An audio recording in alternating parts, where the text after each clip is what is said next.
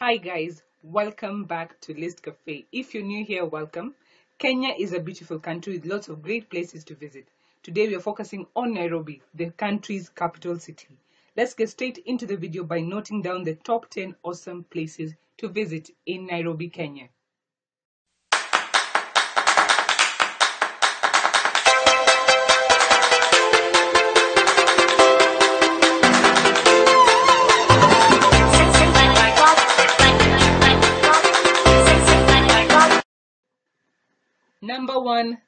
Nairobi National Park.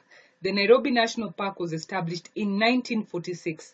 It is the main attraction for visitors in Nairobi and is 7 kilometers south of Nairobi. Did you know the park is fenced on three sides? Visitors' attractions include the park's diverse bird species, hyenas, leopards, and lions.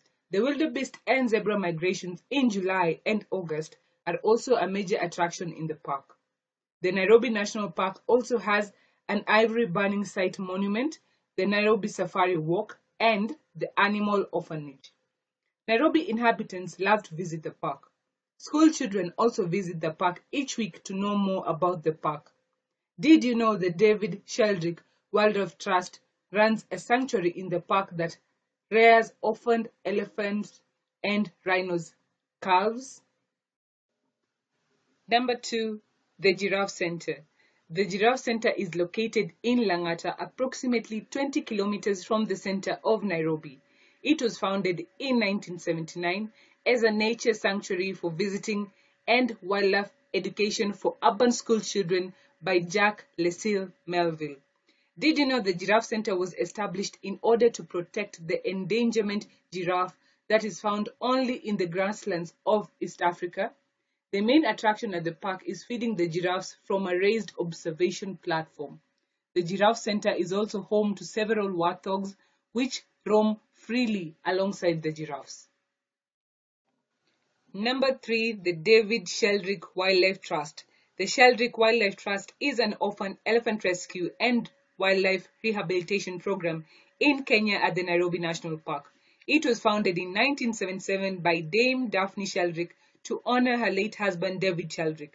The Sheldrick Wildlife Trust Elephant Orphanage is open to the public one hour every day excluding 25th December from 11 a.m. to noon. During this time, the orphans are taken for their midday bath and feeding. Each elephant remains at the Sheldrick Wildlife Trust nursery until they are ready to make the journey to one of three rehabilitation stockades at Voi or Ithumba in Tsavo East National Park or at the Umani Springs Integration Unit. Number 4. Karura Forest. Karura Forest is an urban forest located in Nairobi. It was gazetted in 1932 and is managed by the Kenya Forest Service in conjunction with the Friends of Karura Forest Community Forest Association. The Karura Forest has been developed as a visitor's attraction. Did you know it has over 16,000 entries per month? Visit the Karura Forest and enjoy 50 kilometers of nature trails for walking, running, and biking. Wildlife in the forest include monkey species, including the recently reintroduced colobus monkeys, bush baby, bushbuck, bush pig, porcupine, among others. The forest also has different plant species. The park also has been listed fourth out of the 101 things to do in Nairobi. Number 5. The Nairobi National Museum. The Nairobi National Museum tells the story of Kenya's rich heritage. The museum's mission is to collect, preserve, study, document, and present Kenya's past and present cultural and natural heritage for the purposes of enhancing knowledge, appreciation, and respect of Kenya's heritage. If you happen to visit the Nairobi National Museum, don't miss to go to the Hall of Kenya, the Joy Adamson Gallery, the Cycles of Life, the Birds of East Africa Gallery, the Great Halls of Mammals, Ahmed the Elephant, who was known for his large tusks globally, the Cradle of Mankind, and Historia Kenya, and the temporary exhibitions art galleries in the museum. Number 6. The Karen Blixen Museum. The Karen Blixen Museum is located 10 kilometers outside of Nairobi, Kenya, at the foot of the Ngong Hills. The Karen Blixen Museum is the former African home of Danish author Karen Blixen, famous for her 1937 book, Out of Africa, which chronicles life at the estate. After Karen Blixen's death in 1962, the house was donated by the Danish government in 1964 to the new Kenyan government as an independence gift and it was opened to the public in 1986 as one of Kenya's national museums following the popularity of the 1985 movie Out of Africa. The Karen Blixen Museum is open every day between 9.30 a.m. and 6 p.m., including weekends and public holidays. Visitors have the opportunity to continuously take part in guided tours of the house. Number 7. Ngong Hills. The Ngong Hills are peaks in a ridge along the Great Rift Valley located southwest near Nairobi. The Ngong Hills on the west side slopes overlook the Nairobi National Park from the east sides. During the years of the British colonial rule, the area along the Ngong Hills was a major settler farming region and many traditional colonial houses are still seen in the area. Spend your weekends at the Ngong Hills by zip lining. Overcome your fear of heights by zip lining along the Zoom stainless steel cable. Explore the beautiful Ngong Hills by taking a bike ride while viewing the area. Get an opportunity to compete with your friends by playing archery or partner by shooting a bow and arrow. The beautiful sights of the Ngong Hills are ideal for a picnic with friends and family. Number 8 KICC. The Kenyatta International Convention Center is a 28 story building located in Nairobi, Kenya.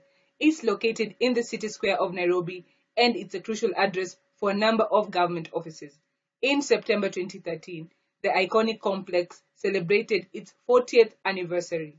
The KICC stands as the sixth tallest building in Kenya, reaching a height of just over 105 meters. The KICC includes an amphitheater where heritage and modernity meet, the plenary, which is the largest conference chamber of its kind in East Africa, the courtyard, which is paved 75 meter square courtyard surrounding the Jomo Kenyatta statue, Comesa grounds, which consist of expansive grounds overlooking the Kenyan parliament. Number 9. The Nairobi Mamba Village. The Nairobi Mamba Village is East Africa's largest crocodile farm, resting on 30 acres of land.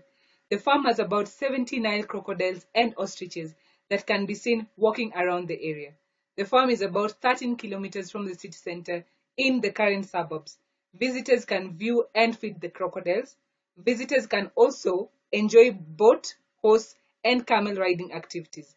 There's a beautiful man-made lake where visitors can enjoy boat riding. Visit the Mamba village in the afternoon and get an opportunity to see the crocodiles being fed, jumping in the air to grab large chunks of meat that are suspended for them to grab. Number 10. The Bomas of Kenya. Experience diversity of Kenya's authentic traditional homes, music, and dances by visiting the Bomas of Kenya. You can also savor authentic Kenyan cuisine in a cultural setting. The Bomas of Kenya offers a rich diversity of Kenya's traditional music and dances in their daily cultural performances. The repertoire consists of over 50 dances from ethnic communities with live percussion, string, and wind instruments. The dances will take you on a journey through Kenya's past and present. The Bomas Harambee Dances Resident Troopers was founded in 1973, named in honor of the first president's call for, for unity and cooperation in building the Kenyan nation. Four decades later, the troop is still active. The Bomas of Kenya also collects and preserves cultural artifacts from various communities of Kenya. It also has a library and multimedia center, which was established with the mission of disseminating research findings and assisting students and teachers researchers in accessing information on cultural music, dances, and practices from various ethnic groups in Kenya. That's all we have for today. Thanks for watching, guys. Bye.